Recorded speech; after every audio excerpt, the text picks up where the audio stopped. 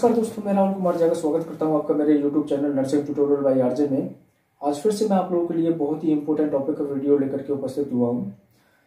ये जो टॉपिक है, बहुत ही इंपॉर्टेंट है, क्योंकि एवरी नर्सिंग कॉम्पिटेटिव एग्ज़ाम जितने भी जो नर्सिंग कॉम्पिटेटिव एग्ज़ाम्स हैं, सब में एक या दो क्वेश्चन इस टॉपिक से रिलेटेड पूछा जाता है। आइए टॉपिक को शुरू करते हैं।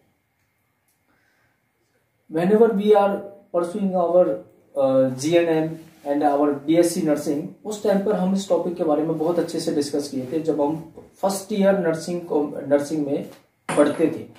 नर्सिंग फाउंडेशन से रिलेटेड टॉपिक है टॉपिक का नाम है नर्सिंग प्रोसेस हम लोग अच्छे से इस टॉपिक को प्रीवियसली डिस्कस कर चुके हैं मतलब आप लोग पढ़ चुके हो, लेकिन अभी तक हमें ये नहीं पता कि इस टॉपिक में से जो नर्सिंग कॉम्पिटेटिव एग्ज़ाम्स में जो क्वेश्चंस पूछे जाते हैं, वो किस तरह से पूछे जाते हैं और कौन कौन से क्वेश्चंस पूछे जाते हैं। तो चलिए टॉपिक को शुरू करते हैं। सबसे पहले आपको ये पता होना चाहिए कि नर्सिंग प्रोसेस क्या होती है।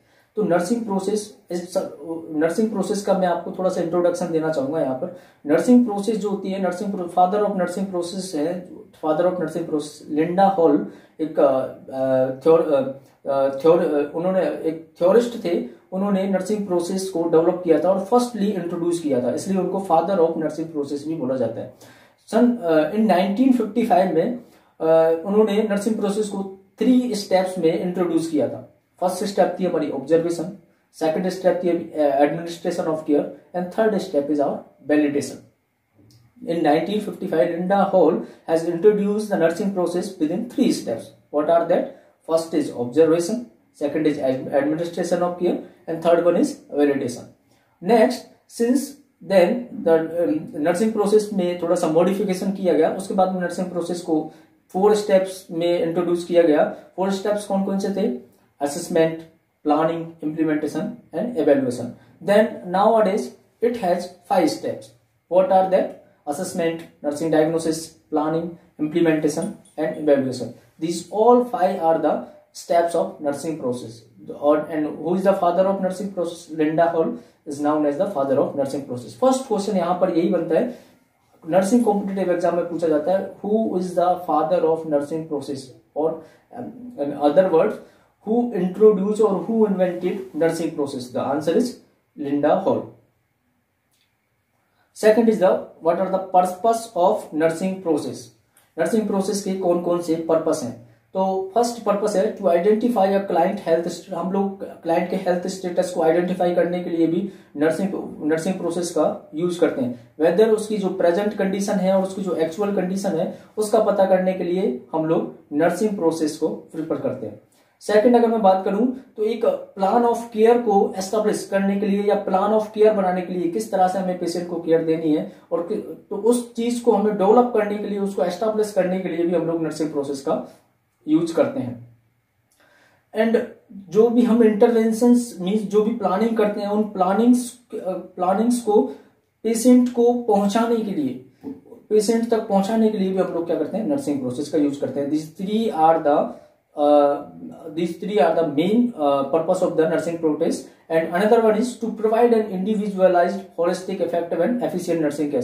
उस पर्सन को individualize individualized nursing care provide करना है होलिस्टिक नर्सिंग केयर प्रोवाइड करना है। और efficient nursing care means needable nursing care हम लोग को हम लोग पेशेंट को देने के लिए हम लोग नर्सिंग केयर का यूज़ करते हैं। This all are the purpose of nursing process next we will go further further what are the steps of nursing process? So there are five steps of nursing process. I had already told you about these all. First one is the nursing assessment. Second one is the nursing diagnosis. Third one is the planning. And fourth one is the implementation. And fifth one is the evaluation. These five are the steps or elements of the nursing process. Which are that? First assessment. Second nursing diagnosis. Third one is the planning fourth one is the implementation and fifth one is the evaluation. These all are the steps of nursing process. Next we will discuss about the first steps of nursing process that is assessment.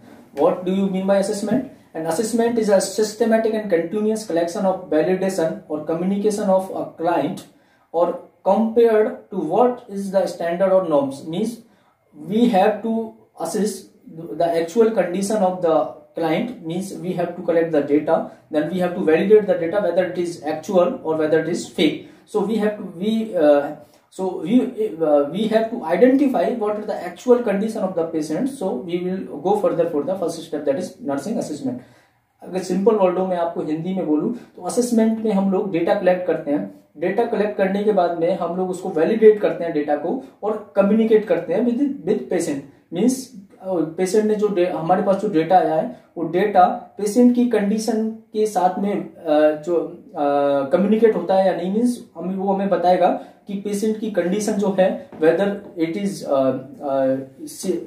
means factfully ill or not next it include the clients perceived need health problems related experience and health practice values and life styles ये जो assessment phase है इसमें जो हम data collect करते हैं ये उस, उसकी नीड्स के अकॉर्डिंग पेशेंट की क्या नीड्स हैं उसकी हेल्थ प्रॉब्लम से रिलेटेड उससे उसके उससे रिलेटेड हम लोग डेटा कलेक्ट करते हैं उसके रिलेटेड उससे रिलेटेड एक्सपीरियंस कैसा पेशेंट का एक्सपीरियंस रहा है उससे रिलेटेड हम लोग डेटा कलेक्ट करते हैं हेल्थ प्रैक्टिस से रिलेटेड हम लोग डेटा कलेक्ट करते हैं और पेशेंट की लाइफ स्टाइल से रिलेटेड और उसके वैल्यूज़ से रिलेटेड भी हम लोग यहाँ पर डेटा कलेक्ट करते हैं।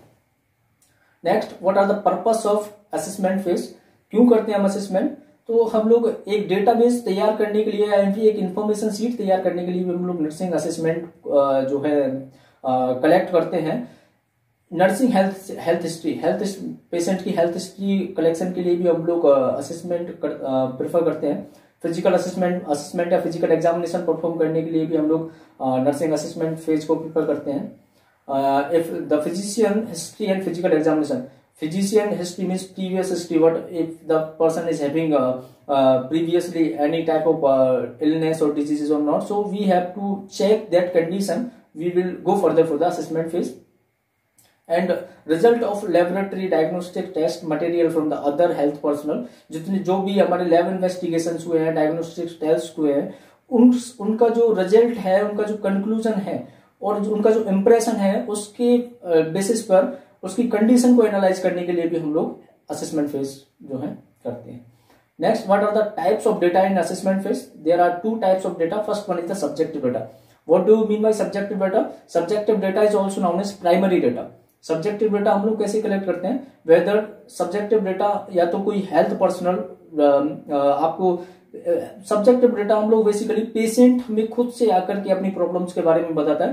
If patient is not able to tell or says about his condition तो देन हेल्थ पर्सनल और जो उसके जो केयर गिवर्स हैं, वो आपको उसकी कंडीशन के बारे में बताएँगे। उस टाइप के हम लोग डेटा को बोलते हैं subjective data next second one is the objective data objective data means on the through the observation means we have to observe that और we have to means compare between subjective data means whether it is uh, real or no we so to analyze the subjective data so we have to uh, collect the objective data on the basis of observation like patient ने कहा patient आपको बोलेगा कि uh, मुझे pen हो रहा है pen हो रहा है इस पेन को एवेल्युएट करने के लिए कि रियल में पेशेंट को पेन हो रहा है या नहीं उसके लिए हम लोग ऑब्जेक्टिव डेटा कलेक्ट करते हैं ऑब्जेक्टिव डेटा में हम लोग बेसिकली जो हमारे फ़िज़िकल एग्जामिनेशन के मेथड्स हैं उनके बेसिस पर हम लोग करते हैं and another one is vital sign को हम लोग चेक करते हैं फेशियल एक्सप्रेशन को चेक करते हैं।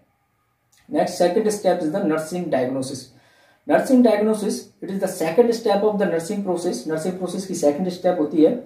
The process reasoning of clinical act of identify problems problems को आइडेंटिफाई करने के लिए uh, हम लोग इसको प्रीफर करते हैं नर्सिंग प्रोसेस को। क्या इसके क्या क्या पर्पस होते हैं? Then to identify health care need and prepare our nursing diagnosis patient की हेल्थ केयर नीड्स के बेसिस पर हम लोग नर्सिंग डायग्नोसिस तैयार करते हैं। डायग्नोसिस इन नर्सिंग नर्सिंग में कौन कौन सी डायग्नोसिस होते हैं, उसके लिए भी नर्सिंग डायग्नोसिस हम प्रिपेयर करते हैं। Analyse assessment information assessment information को एनालाइज करने के लिए भी हम लोग डायग्नोसिस स्टेप्स को फॉलो करते हैं। What are the component of a nursing diagnosis?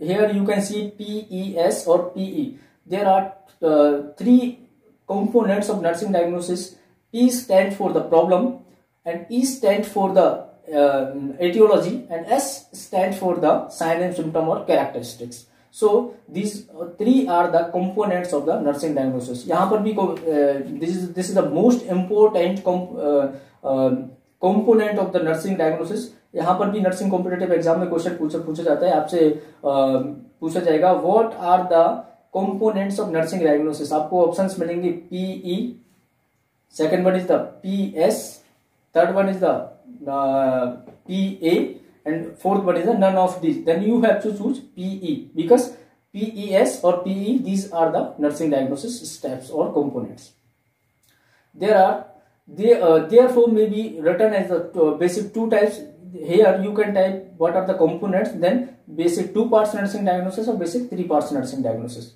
Here we can see what are the basic two parts nursing diagnosis. So basic two parts nursing diagnosis to communicate these two words P and E uh, means problem and etiology we have to use a word that is related to. Problem related to etiology that is the basic two parts nursing diagnosis. And what is the basic three parts nursing diagnosis? That is problem related to etiology as manifested by sign and symptom. This is the way how to write a nursing diagnosis, basic two parts nursing diagnosis or basic three parts nursing diagnosis. Next, we will go further for the planning or outcome, planning, outcome identification and nursing intervention. These three are the uh, same words or meaning, uh, these three words meaning are the meaning is the same.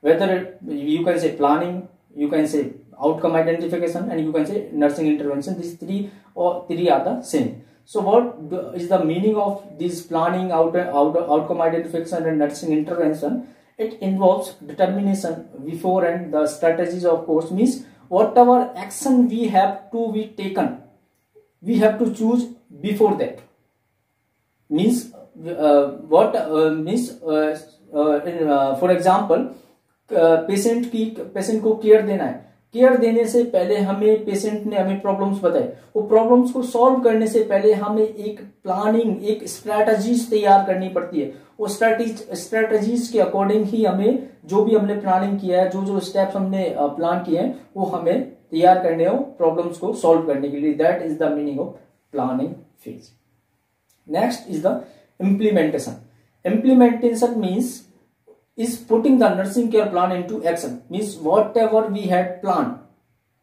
we have to put as it is uh, as in the action phase. Means जो भी हमने plan किया है, उसको यहाँ पर हम implement कर देते हैं। पेशेंट को पेशेंट के साथ में परफॉर्म कर देते हैं। That is the meaning of implementation phase here is the last step of the nursing process that is evaluation evaluation means जो भी हमने प्लान किया था, उसको हमने इम्प्लीमेंट किया। अब यहाँ पर हमें चेक करना है कि हमारा जो गोल है, हमारा जो पेशेंट का पेशेंट की जो प्रॉब्लम है, वो सॉल्व हुई है या नहीं हुई है। अगर प्रॉब्लम सॉल्व होती है then we had we achieved our goal अगर पेशेंट की प्रॉब्लम सॉल्व नहीं होती है देन हम लोग उसको रिसाइकिल करते हैं। असेसमेंट सेम रहता है नर्सिंग डायग्नोसिस सेम रहेगी बट प्लानिंग इम्प्लीमेंटेशन चेंज हो जाता है। Next we we go further for the another planning हम लोग उसके लिए अलग से प्लान अलग अलग प्लानिंग करेंगे, और उसको, उसी वे में, जिस वे में हमने प्लान किया, उसी वे में हम उसको इम्प्लांट करेंगे, और देन उसके बाद में हम लोग उसको एवेल्युएट करेंगे। So this is the our very important topic nursing process here अब अब आप आई होप आप लोगों को इन शॉर्ट नर्सिंग प्रोसेस समझ में आया हो। अगर आपको ये टॉपिक समझ में आया हो तो प्लीज़ मेरे चैनल को सब्सक्राइब कीजिए वीडियो को लाइक कीजिए और कमेंट करके मुझे बताइए कि आपको ये वीडियो कैसा लगा। Thank you thank you all of you